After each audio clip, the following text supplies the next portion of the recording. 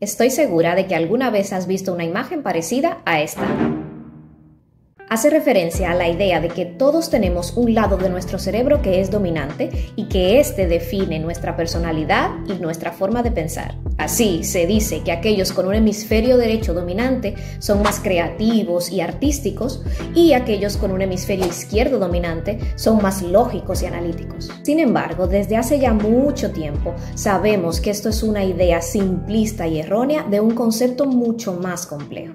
Yo soy la doctora Zaida Luciano, neuróloga, y hoy toca destruir el mito del cerebro izquierdo y el cerebro derecho. Primero, comenzamos por lo que sí es cierto. El cerebro está formado por dos hemisferios, el derecho y el izquierdo.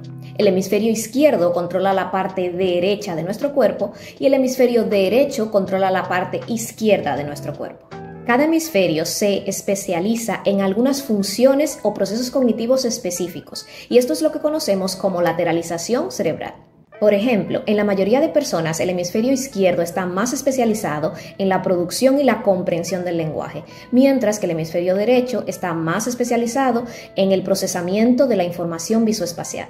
Y es aquí donde comienza la confusión. La lateralización de ciertas funciones cerebrales no significa que los hemisferios trabajen de manera aislada, porque cada una de esas funciones es sumamente compleja y requiere de elementos que son procesados en ambos hemisferios. Esto se consigue gracias a una estructura maravillosa llamada cuerpo calloso, que es una especie de puente de fibras nerviosas que conecta a los dos hemisferios. En ese sentido, la evidencia actual no sugiere que exista un hemisferio que sea dominante sobre otro, sino que trabajan en estrecha relación en casi todo lo que hacen. Por último, tampoco existe ninguna evidencia de que nuestras personalidades, inclinaciones o talentos estén definidos por esa supuesta dominancia cerebral. Por el contrario, sabemos que nuestra forma de ver el mundo y nuestras habilidades están definidas por una combinación compleja entre nuestra información genética y factores externos como la crianza, la educación e incluso la cultura. Todas estas variantes crean seres humanos únicos con conexiones neuronales más fuertes en unas áreas cerebrales que en otras.